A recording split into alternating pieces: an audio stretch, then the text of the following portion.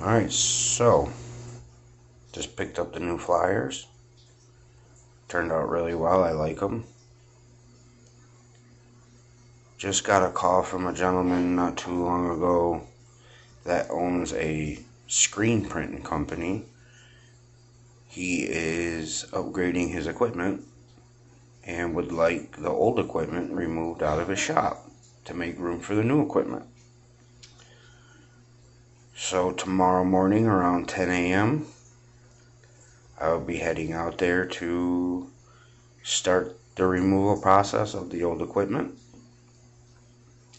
May take all day, but we will get this done.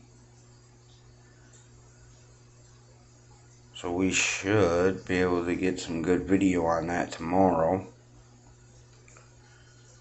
Alright, hope all of you are having a blessed day. This is Elite Scrap Metal Pickup out of Grand Rapids, Michigan. And thank you for following.